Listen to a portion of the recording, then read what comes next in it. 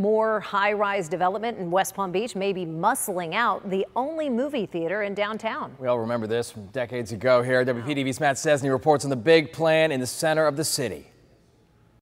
The AMC movie theater here in the middle of the square in downtown West Palm Beach, the center of entertainment along with other buildings, apparently all on the way out in what we found out is the worst kept secret of downtown. Um, I think it's a loss for the whole square. For many around here, this hulking 12 screen theater A lot of people come here. is a favorite. You can spend time with your family, your kids also. I think here is very good location for this movie theater. Maybe too good a location. The theater is not selling advance tickets to the new Guardians movie opening May 5th, a sure sign something is up.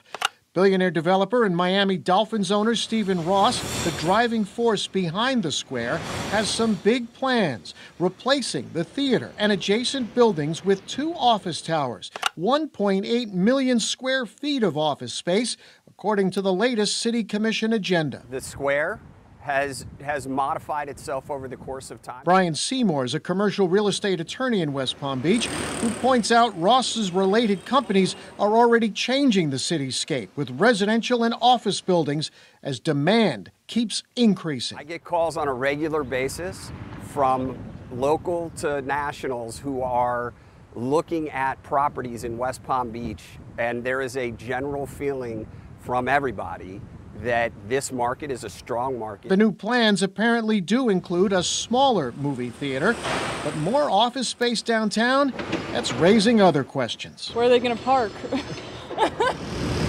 In West Palm Beach, Matt Sczesny, WPTV, News Channel 5.